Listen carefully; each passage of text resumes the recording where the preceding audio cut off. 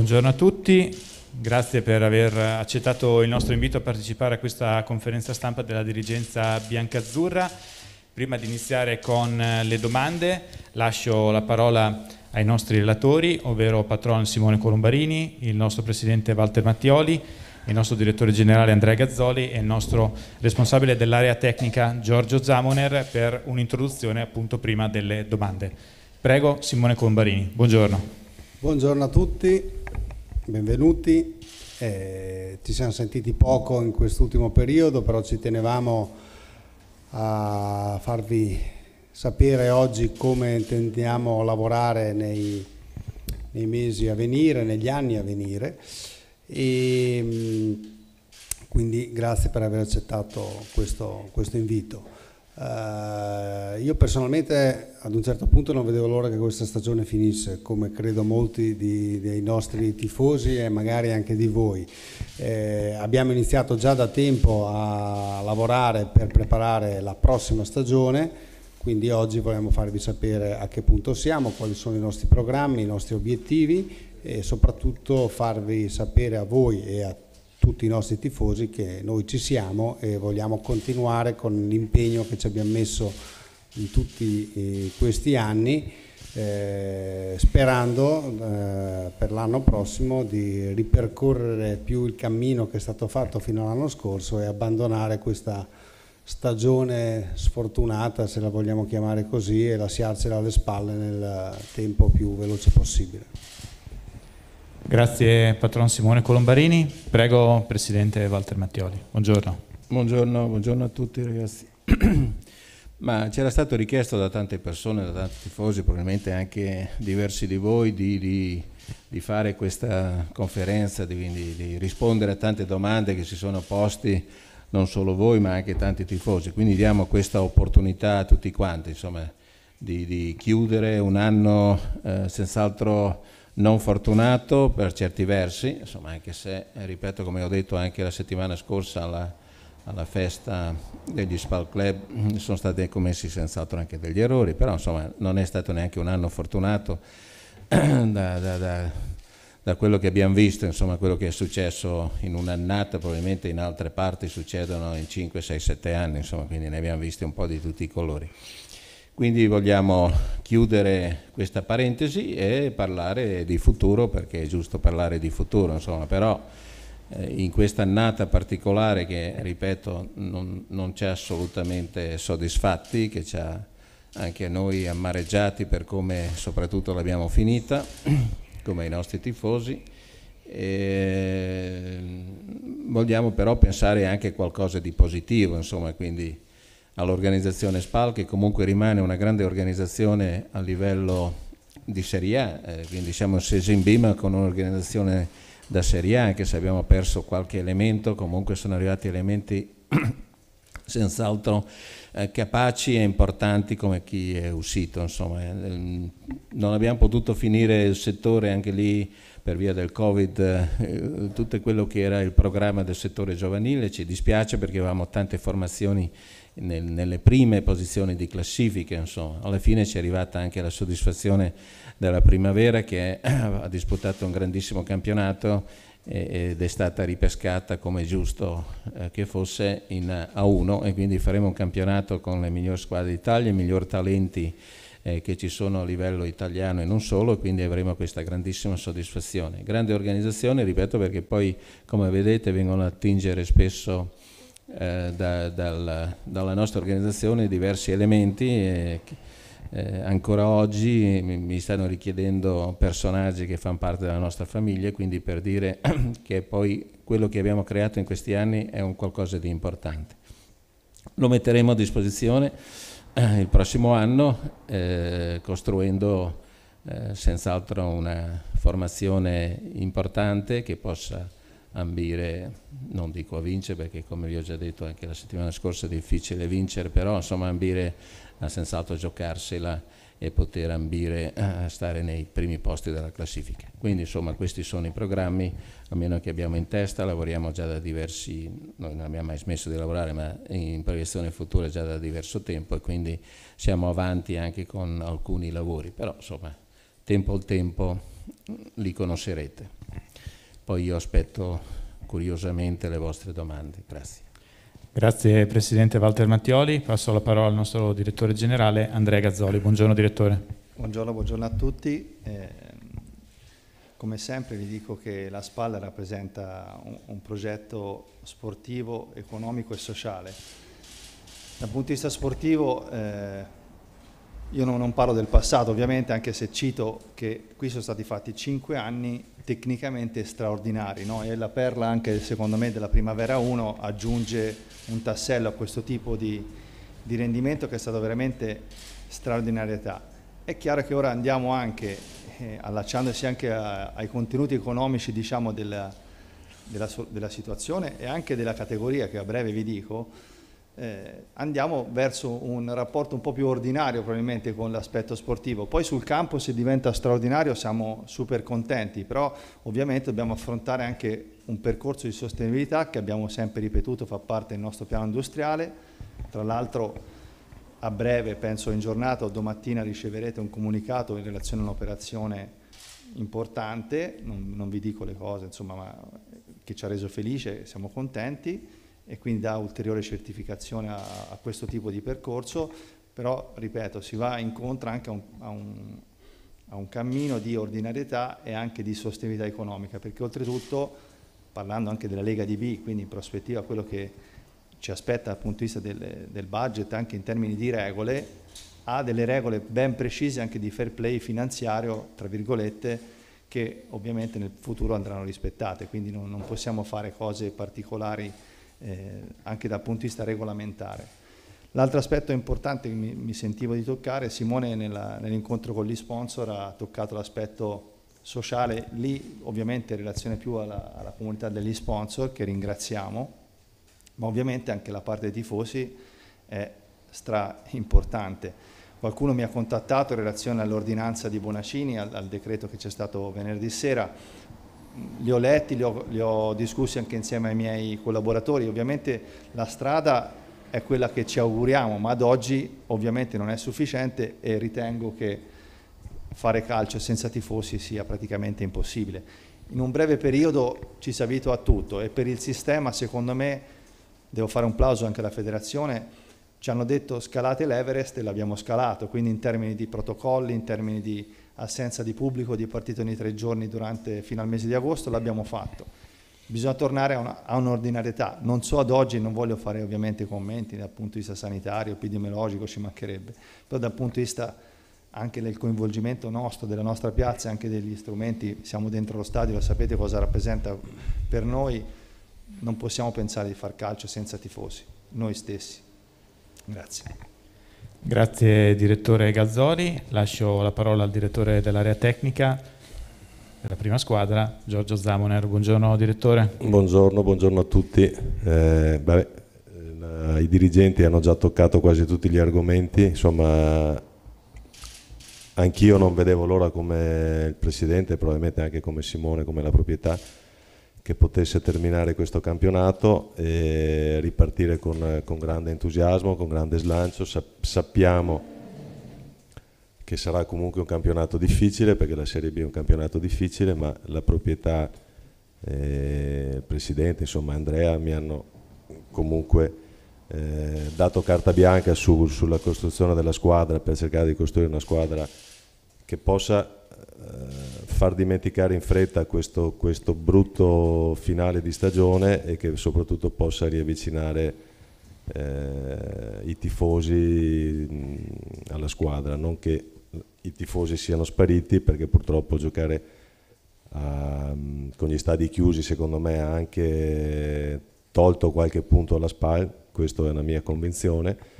È chiaro che da oggi comincia il mio, il mio vero lavoro e e cercheremo di fare la squadra più forte possibile. Grazie direttore Zamoner. Potete iniziare con le domande, come vi ho annunciato in pre-conferenza, un ciclo di tre domande a testa e poi verifichiamo poi anche il tempo che, che ci rimane a disposizione. Inizia, prego, prego Paolo Negri. Paolo Negri, buongiorno. buongiorno eh, vicino, vicino. Sì. Ok, vai vai. Okay. Buongiorno a tutti.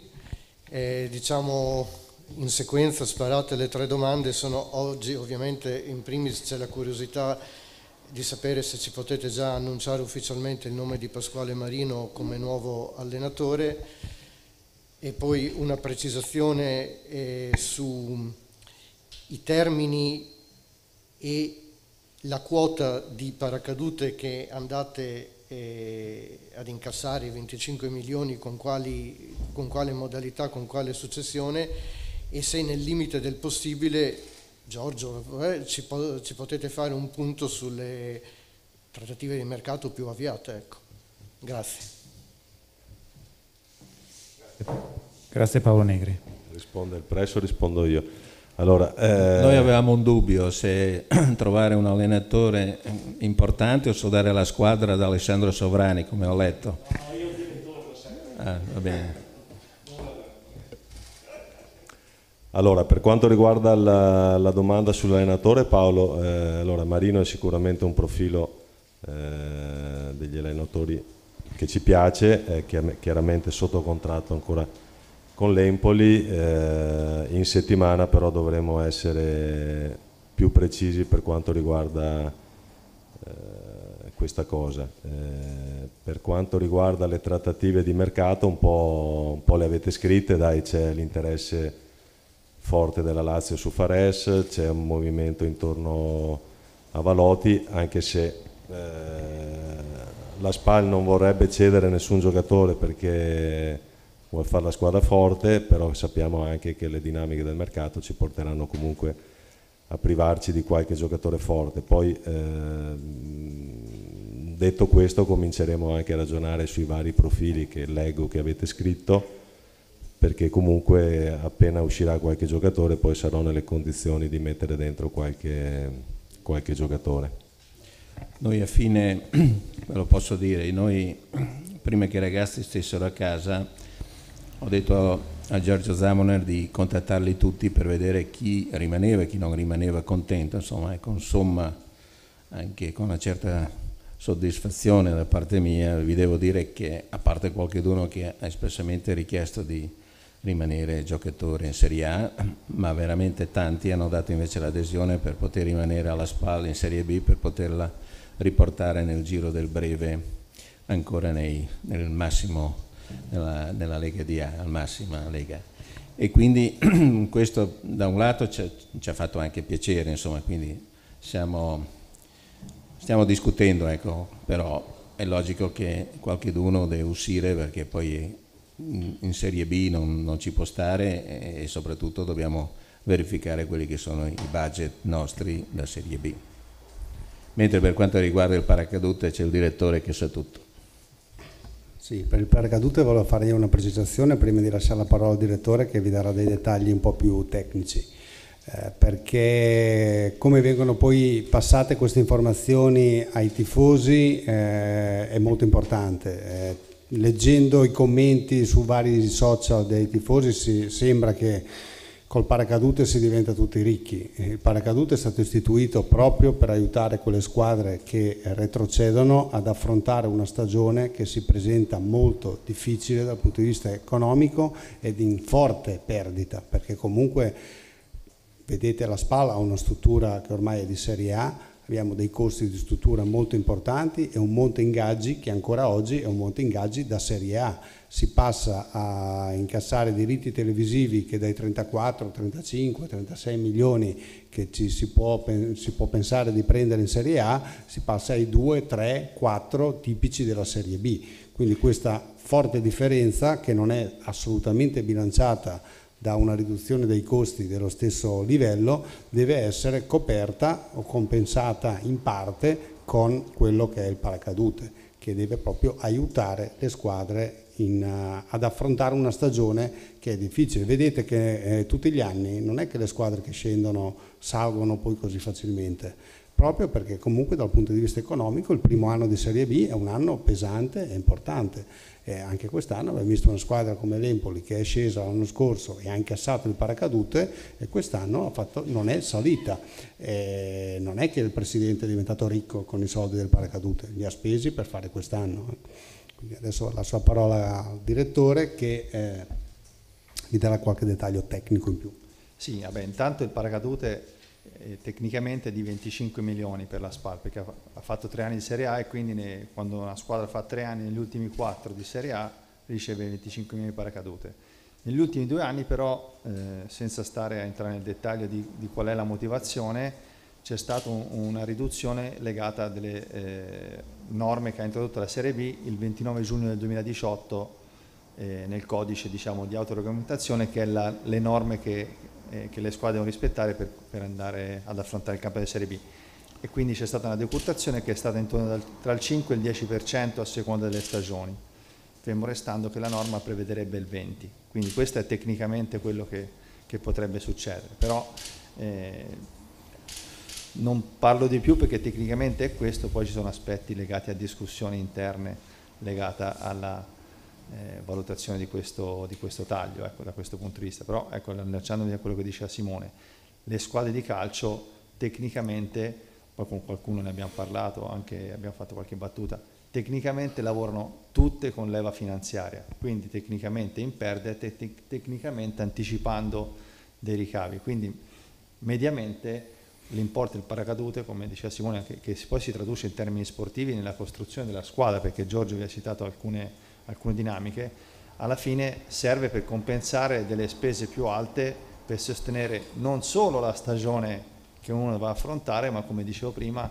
anche la prospettiva di costruire le stagioni future, perché ovviamente come citava l'Empoli, il Frosinone ha perso in casa ieri sera e c'è il Chievo in ballo, che sono le tre retrocesse diciamo, della scorsa stagione, non è detto che questa cosa qua si traduca in un risultato sportivo automatico. Alla fine magari, come è successo alla SPAL nel 2016-17, vince il terzultimo budget, quindi le dinamiche sono più eh, legate alla costruzione della squadra più che all'aspetto di quanto è il paracadute o quanto possono portare le cessioni anche lì, abbiamo parlato anche di cessioni in questo periodo e se un calciatore lo, lo compro a 10 lo vendo a, a 10 o a 11 non è che mi metto in tasca ovviamente qual è la grande plusvalenza che può essere stata per esempio Lazzari, quindi noi i calciatori li abbiamo tutti acquistati e tutti hanno un valore a bilancio come Cespite che stiamo ammortizzando, quindi Lazzari è un caso ovviamente più unico che raro, no? il calciatore che cresce qua, si sviluppa qua e lo vendi a una cifra X che è praticamente tutto, tutto guadagno da questo punto di vista. Quindi ecco, anche questa cosa qua determina un po' di, di approfondimenti. Poi voglio sottolineare anche un'altra cosa, sempre per quanto riguarda i contributi. Noi, una volta che siamo saliti in A, per tre anni abbiamo dovuto restituire una parte dei contributi che abbiamo preso alla B, quindi noi in tre anni abbiamo restituito 6 milioni e mezzo Adesso ci chiederebbero anche il 20% del paracadute, quindi noi in, in, tre anni gli dovremmo dare 11 milioni e mezzo che diventiamo il maggior azionista della Lega di B, insomma, volendo scherzarci sopra. Ecco. Prego, Sovrani. Eh, buongiorno. Eh, la squadra mh, mm, con la quale stai scattando per Valotti, perché ci hai detto che c'è una squadra interessata?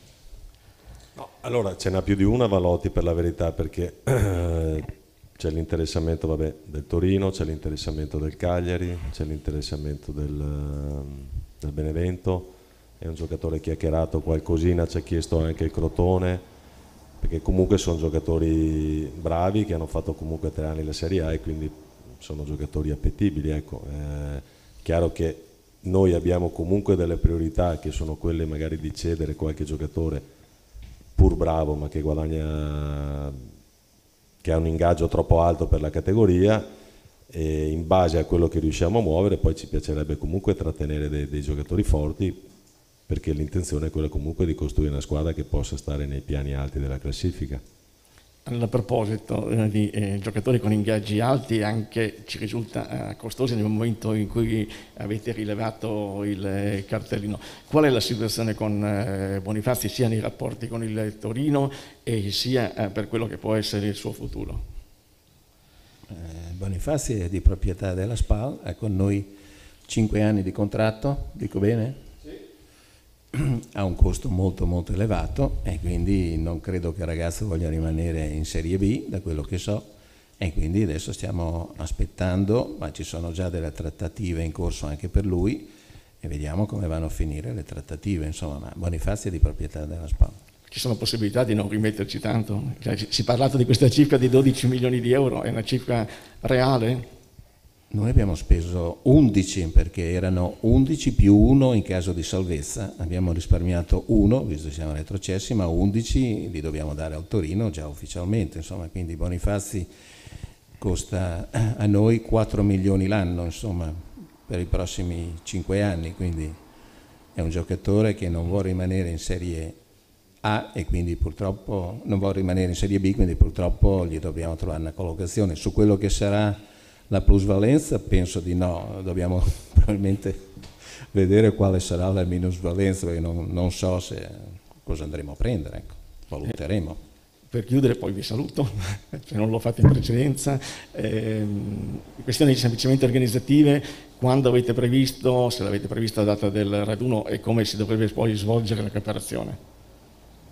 Ma allora stiamo ipotezza ipotizzando la, il ritrovo il 20 di agosto, eh, dove sono previsti poi chiaramente il 20 e il 21 i tamponi, l'esame sierologico, per poi iniziare eh, il 22 con l'attività sul campo con tutta la squadra, insomma. Quindi quella è la data, sì, più o meno prevista, poi giorno più giorno meno, comunque quella, quella è la data del ritrovo. Tutto? Sì, rimaniamo, rimaniamo a Ferrara, sì.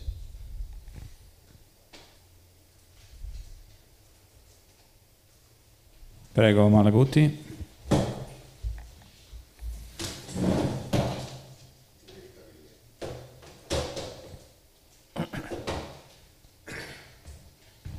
Buongiorno a tutti.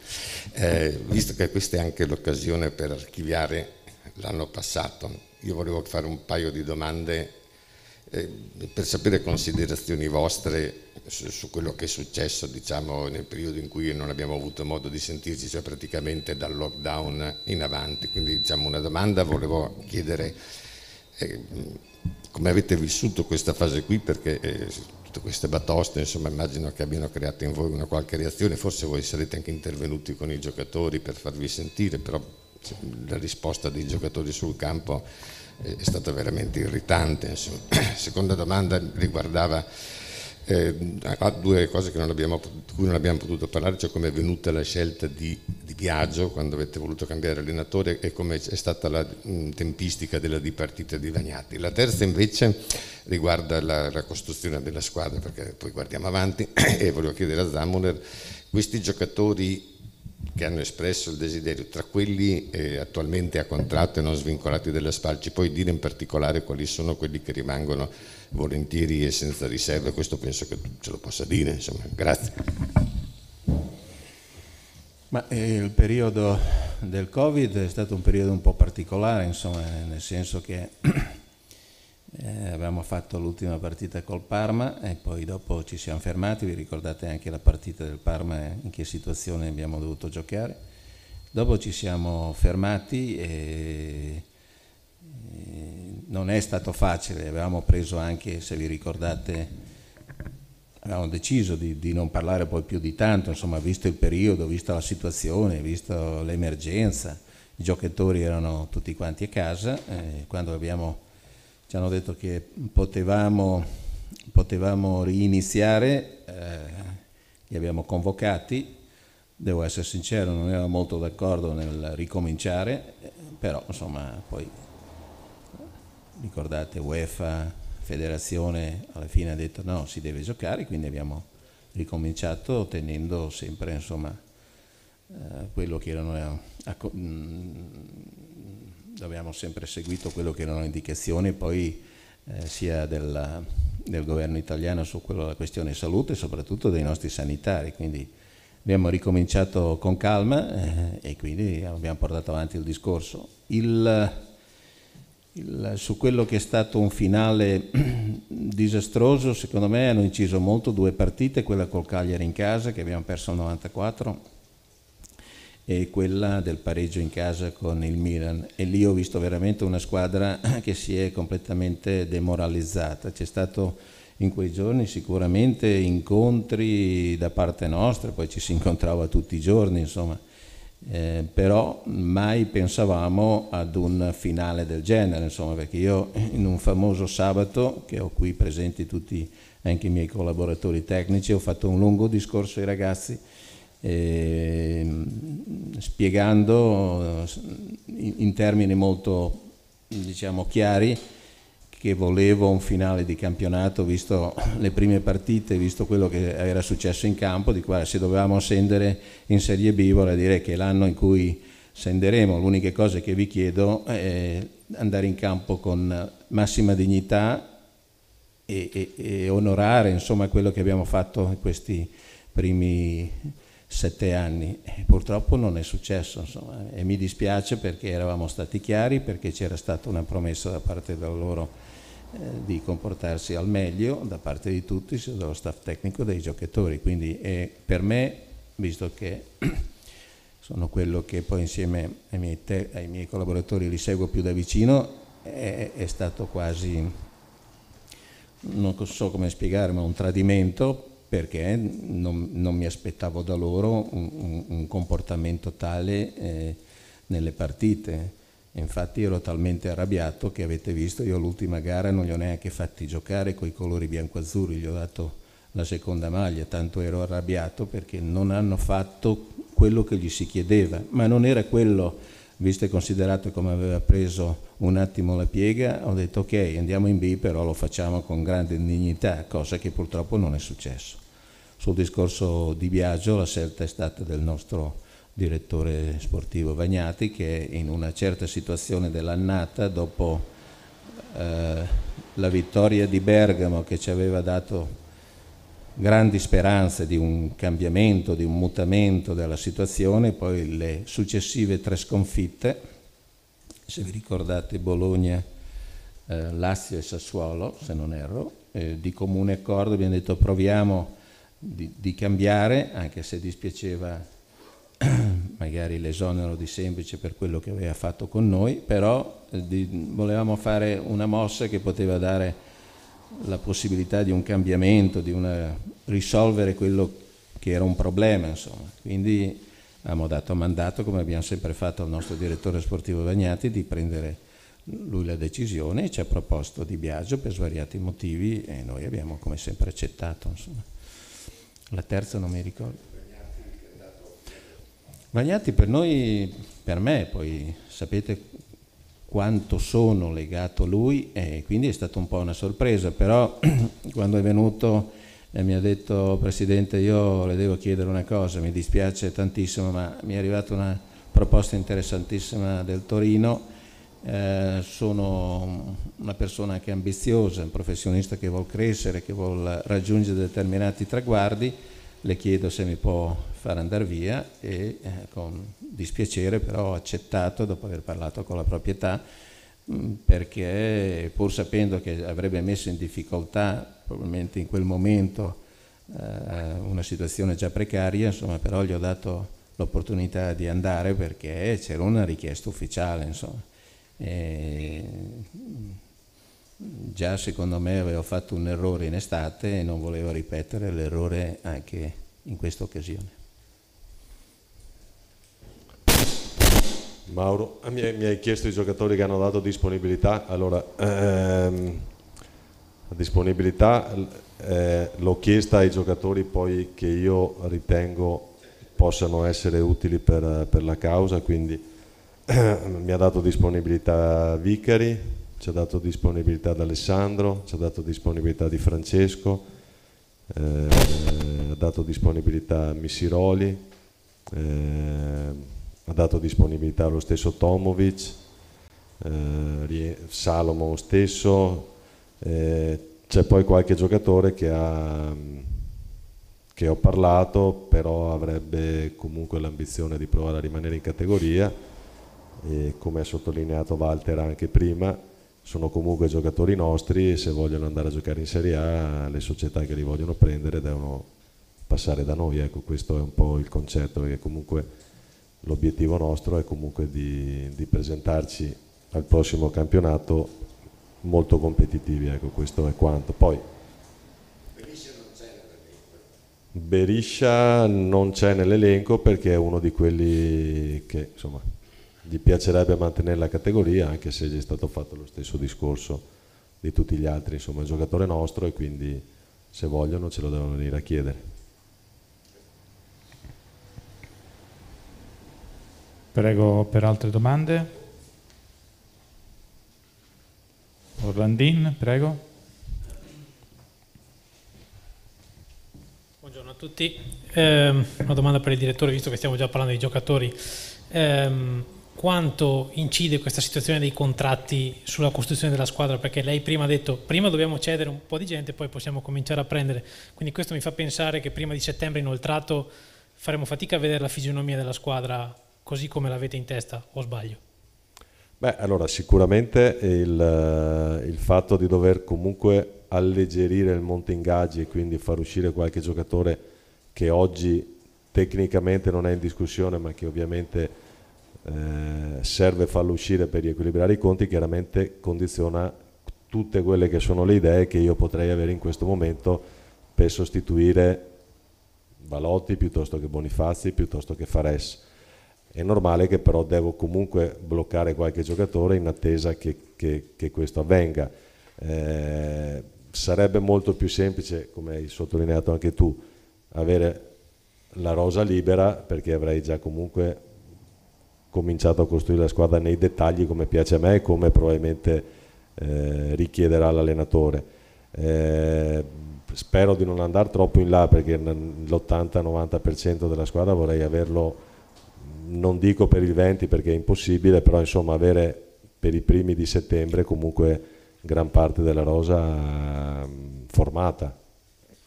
Un'altra domanda è relativa ai giocatori che hanno visto il loro contratto, anzi che vedranno il loro contratto scadere a brevissimo, no? Allora un paio ci sono già congedati che sono Felipe e Cionek, degli altri non abbiamo notizie precise, viene da pensare che verranno lasciati andare, si era parlato anche di una possibile conferma di Floccari, vorrei capire qual è la situazione da questo punto di vista. Allora, eh, parto dall'ultimo nome che hai fatto, eh, sicuramente è un giocatore che tecnicamente vogliamo tenere, eh, aspettavo l'ufficialità o comunque di fare una chiacchierata con quello che sarà il prossimo allenatore della Spalma, tecnicamente moralmente è un giocatore che vorremmo tenere, gli verrà sicuramente fatta una proposta e per quello che mi ha manifestato anche lui credo non ci saranno problemi ad accontentare lui e lui ad accontentarsi di rimanere, tra virgolette, accontentarsi, rimanere con piacere alla SPAE. Eh, gli altri ragazzi li lasciamo andare perché comunque credo che sia finito un ciclo importante a Ferrara, c'è bisogno secondo me di ripartire eh, con entusiasmo, ricreare quello spirito che ha contraddistinto il percorso della SPAL di questi anni targata Colombarini e Mattioli deve venire a Ferrara della gente che, che poi si, si, affeziona a questa maglia, si affeziona al pubblico, trasmette tutto quello che dà il pubblico lo trasmette la, la squadra, quindi cercheremo di tenere quei personaggi che hanno voglia di fare queste cose qui e cercheremo di mettere dentro dei ragazzi che hanno voglia di costruire di nuovo qualcosa di importante a Ferrara. L'ultima per quanto riguarda la Faccial Press, so che può sembrare un tema fuori luogo, ma eh, lo chiedo perché i tifosi hanno sempre molta curiosità su questo. Per il discorso maglie, presentazione, cose varie, state già immaginando qualcosa, ci sta bollendo qualcosa in pentola eh, oppure è uno di quegli aspetti che al momento viene accantonato e ci si guarderà tra un po'? No, no, ma noi, noi signori non stiamo accantonando niente, addirittura stiamo preparando l'evento eh, che probabilmente, poi il direttore mi aiuti, sarà i primi di settembre Diciamo che per quanto riguarda la parte ordinaria delle attività, ovviamente è tutto traslato, ma è tutto in itinere, quindi la parte della maglia ovviamente è già tutto pronto, stiamo studiando la presentazione per i primi di settembre in una qualche maniera. Ecco. Ci sono già tutte e tre le maglie, le ho già viste, bellissime anche quelle di quest'anno, quindi già tutto, è già tutto pronto. Prego, Prego Suattin. Buongiorno, la prima domanda è, vi chiedo se rifareste la scelta di Di Biagio eh, come allenatore al, al posto di Semplici. Guardava te. Beh, guarda, noi quando è arrivato, eh, poi io e Simone ci siamo anche espressi, insomma, ehm, come metodo quello che aveva portato, mm, diciamo, l'intensità nella prima parte ci era veramente piaciuto. E siamo rimasti magari un pizzico delusi per il finale di campionato, però secondo me lui rimane un ottimo allenatore, la stessa squadra insomma, anche se ma Mauro magari non è d'accordo con me, la stessa squadra secondo me non può avere questo valore, quello che ha dimostrato in queste partite, insomma non credo che questi uomini siano giocatori così scarsi come hanno dimostrato nelle ultime gare, insomma. È successo qualcosa di particolare, è quello che mi dispiace di più perché noi eravamo a completa disposizione eh, sia del mister che della squadra, gli siamo sempre stati vicini, non gli è mai mancato nulla e quindi siamo rimasti veramente delusi. E ripeto, è un mister che appena arrivato ci ha fatto una grandissima impressione e siamo convinti che sia un ottimo mister e quindi ci siamo rimasti ancora più male.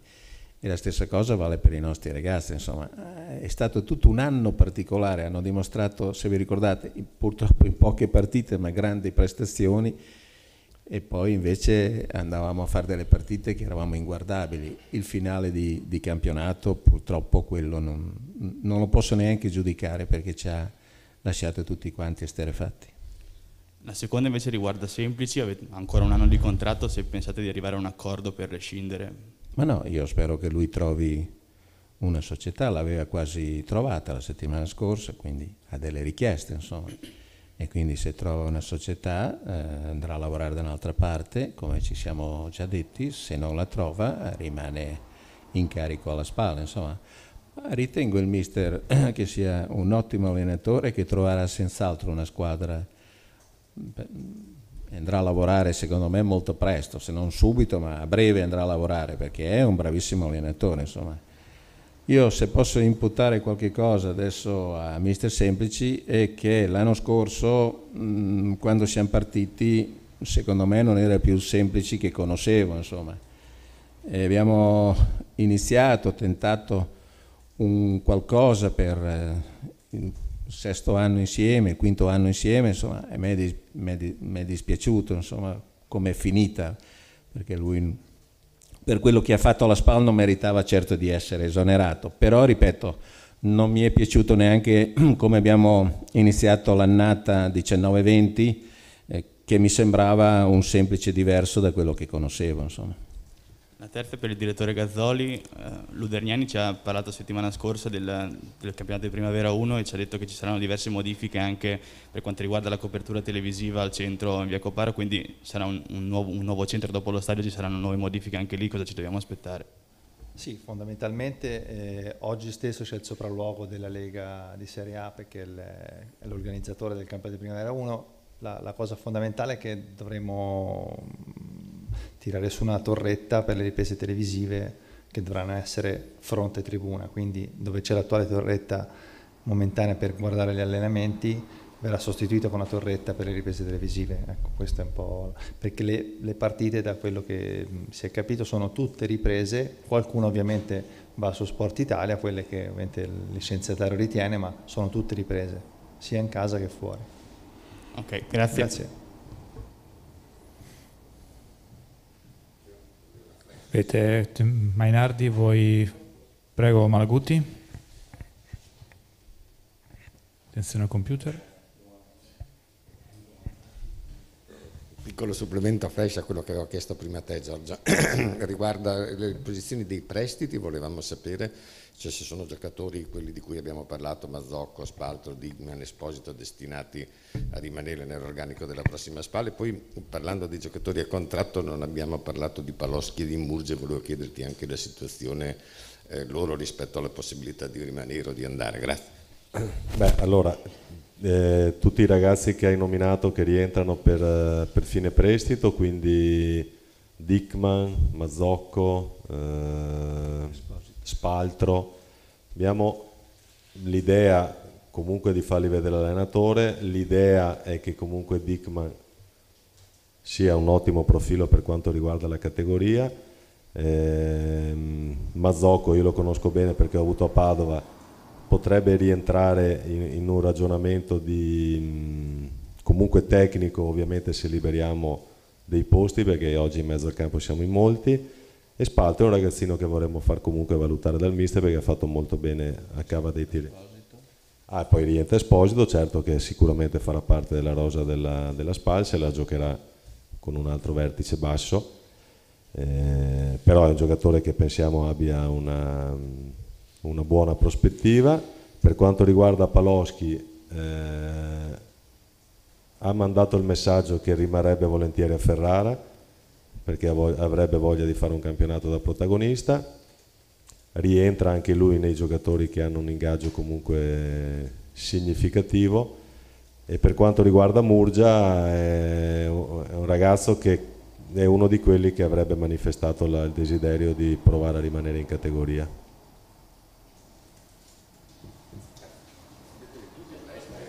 Prego Sovrani. Sempre restando, Sempre restando sul tema prestiti, Viviani e mh, poi giovani, mh, pensate di aggregare alcuni di questi ragazzi, soprattutto quelli che sono stati visti nella fase finale?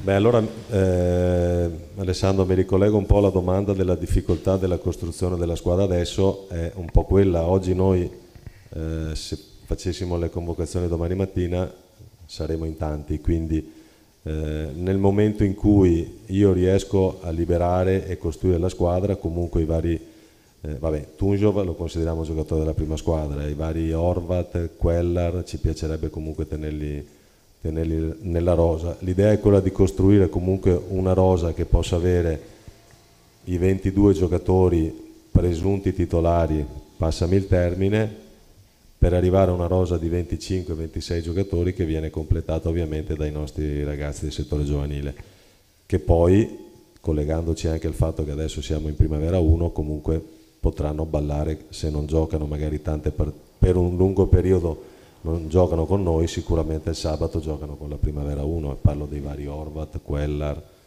eh, Iskra, insomma ce ne sono secondo me tre o quattro di ottima caratura. Sì, aggiungo che è notizia di, di, di stanotte perché col fuso orario eh, magari Giorgio... Eh, sì, no, no, l'ho visto, l'ho visto. Eh, sì, eh, è stato convocato in nazionale boliviana perché come sapete quella era il primo giocatore boliviano che esordisce il campionato di Serie A. È stato convocato in una raduna nazionale che mi sembra sia intorno a Ferragosto. Sì, sì, sì. sì.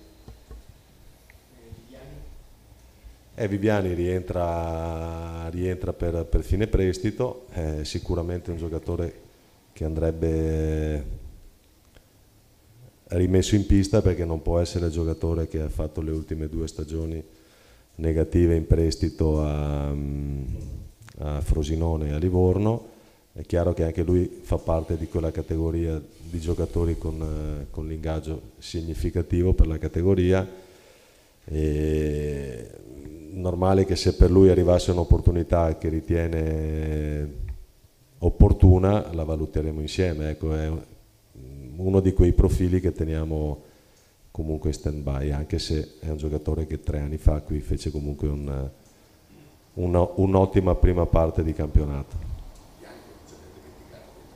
Jankovic, sì, torna anche A ah, Jankovic torna anche Jankovic, sì torna anche Jankovic. Noi abbiamo perso 11 giocatori che sono i 6 eh, di fine contratto, esatto. e poi i 5 che invece sono di fine prestito, sono Recca, Letizia, Cerri, ehm, Petagna, Petagna, che è partito e ne manca uno. E, e Dabo. Bravo. Ognuno di questi torneranno alle rispettive società e i sei in scadenza di contratto, ripeto, a parte Floccheri, eh, rimarranno, andranno a cercare. Però Sala. Mauro, scusami, vieni, parliamo qui dal microfono, Sala. altrimenti a casa non ci sentono. Prego, prego Orlandin. Uh, sul discorso mercato vorrei chiedere una cosa a Simone e, e al direttore Gazzoli. Um, quanto come dire, eh, riformulo, scusate, eh, quanto incide la necessità di far tornare i conti sul lavoro poi che dovrà fare il direttore? Mi spiego, non credo potrete far registrare tutte queste minusvalenze a bilancio vendendo giocatori a meno di quanto li avete comprati, quindi mi viene da pensare che alcuni giocatori, se non si trova l'acquirente giusto e la cifra giusta, dovrà rimanere qua, o mi sbaglio? Guarda, noi non abbiamo bisogno di fare giochi nel bilancio. Se un giocatore è stato comprato e pagato più di quello che vale, far registrare la minusvalenza quest'anno, l'anno prossimo, fra due anni, per noi cambia veramente poco perché non abbiamo buchi da coprire o manovre strane da dover fare. Noi tutti gli anni abbiamo affrontato i nostri campionati sapendo cosa potevamo spendere e investendo quando si, si, acquistano dei giocatori. Quindi voi sapete che il costo di acquisto dei giocatori va messo in ammortamento tutti gli ammortamenti fino adesso sono stati fatti ovviamente regolarmente, oggi ci troviamo in una situazione dove abbiamo tanti giocatori a patrimonio, qualcuno di questi verrà venduto facendo registrare una plusvalenza, qualcun altro probabilmente verrà ceduto perché ha un ingaggio molto alto e comunque se riterremo più conveniente liberarci oggi dell'ingaggio a costo di far registrare una minusvalenza, lo faremo sicuramente. Non, non terremo un giocatore solo per non dire o non far vedere dai nostri conti che lo dobbiamo cedere ad una cifra più bassa di quella che oggi ci rimane da ammortizzare facciamo questo ragionamento, poi vedo che il direttore vuole intervenire, non tanto per il discorso di giochi di bilancio, ma perché giustamente si è parlato di ordinarietà, conti a posto, tutto quanto, immagino che questo comunque abbia un'incidenza su, su, sulla programmazione. Questo volevo solo dire. Ah, guarda, il, la, questa valutazione che tu hai fatto incide sul conto economico, quindi mettere o meno una minusvalenza un anno o l'anno dopo incide semplicemente sul conto economico che cosa porta? Porta il fatto che se il conto economico è positivo si pagano delle tasse, se il conto economico è negativo la proprietà deve eh, ripianare le perdite. Questo è un aspetto puramente del conto economico. L'aspetto finanziario è totalmente slegato da questo aspetto, quindi noi dobbiamo tenere conto un po' di tutte e due le cose e l'esperienza che abbiamo trovato in questi anni ci, ci fa propendere verso dare priorità all'aspetto finanziario per cercare proprio di capire come poter affrontare le stagioni a venire. Il conto economico è una conseguenza, quindi se ci saranno delle minusvalenze o meno da registrare lo faremo. Sì, aggiungo che in relazione al lavoro di, di Giorgio, eh, Giorgio in questi due mesi qui si è applicato veramente in maniera viscerale dalla mattina alla sera anche a digerire questo tipo di aspetto che ovviamente conseguenziale, ma non è, come dice Simone, una cosa che ci, ci stravolge a questo punto di vista, anche perché ovviamente 4-5 giocatori sono fisiologici che non potranno giocare nella SPAL, degli altri, quelli che hanno magari un ingaggio di un certo tipo e magari tecnicamente Giorgio l'allenatore ritengono che non fa parte dei piani, faremo delle valutazioni anche economiche. E tornando anche al discorso finanziario, avete fatto l'esempio prima del paracadute, la SPAL in questi anni tra calciatori vi ricordate abbiamo fatto il ragionamento inizio stagione no, di questo calcolo, tra i calciatori, gli investimenti e gli impianti che ad oggi, in relazione alla cosa che dicevo anche prima di affidabilità e di operazione fatta, stiamo cercando di armonizzare quello che può essere anche attualità visto Covid, ha fatto qualcosa come 90 milioni di investimenti. Chiaramente qualcuno l'abbiamo già monetizzato, no? Petagna, Lazzari, queste cose qui, ma 90 milioni di investimenti in tre anni, quindi una cifra veramente importante che ovviamente abbiamo cercato di armonizzare e dal punto di vista tecnico e economico cercheremo di dargli un respiro un po' più ampio. Uh, visto che il Press prima diceva siamo pronti su tutto, mi viene spontaneo pensare che una cosa sulla quale non si può essere pronti sia un'ipotetica campagna abbonamenti per evidenti ragioni, quindi si può, io... si può, già dire che non ci sarà alcuna campagna abbonamenti? Guarda, adesso io ti dico la prima parte e poi il direttore te la finisce. Noi abbiamo già... Eh, diciamo, rivisto quello che è il discorso abbonamenti, eh, quindi abbiamo già più o meno impostato quello che potrebbe essere, diciamo, quelli che potrebbero essere i prezzi per il campionato di Serie B. Se li possiamo attuare non lo so ancora, quindi magari il direttore è più preciso in questo senso, però insomma ne parliamo tut tutti i giorni e ancora non abbiamo nessuna risposta da parte di nessuno. Ovviamente Alessandro penso che programmarla sia impossibile, eh, ovviamente la situazione de del voucher richiesti che sono circa 6.700 con 1 milione e 300 circa di diciamo, eh, somma sospesa, ovviamente mh, ci permetterebbe comunque di fare un, un, un, prezzo gara, ovviamente equilibrato a, sia al ragionamento sugli abbonamenti eventuali che quelli che sono i, i potenziali acquirenti, però ovviamente è difficile anche programmare questa cosa perché la capienza ad oggi legata alle disposizioni normative è difficilmente calcolabile. Abbiamo provato a calcolare anche in relazione a quello che si è scritto in questi giorni, ma non è assolutamente il 50% della capienza. Ultima, poi ho finito, uh, torno dal direttore, due nomi che non sono stati fatti finora sono quelli di Castro e di Strefezza, quali sono le loro situazioni? Grazie.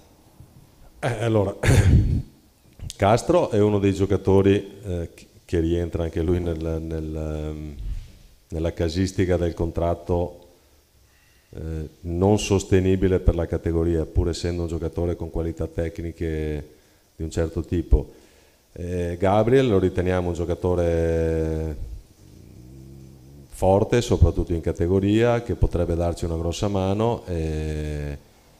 la nostra volontà è quella di tenerlo. Dopo è chiaro che se dovesse arrivare un'offerta di un certo tipo valutiamo anche, anche quella situazione lì però l'avremmo incasellato comunque nei, nei giocatori da tenere, tecnicamente parlando ovviamente.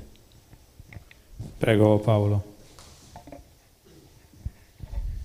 Due, curi- due, curiosità.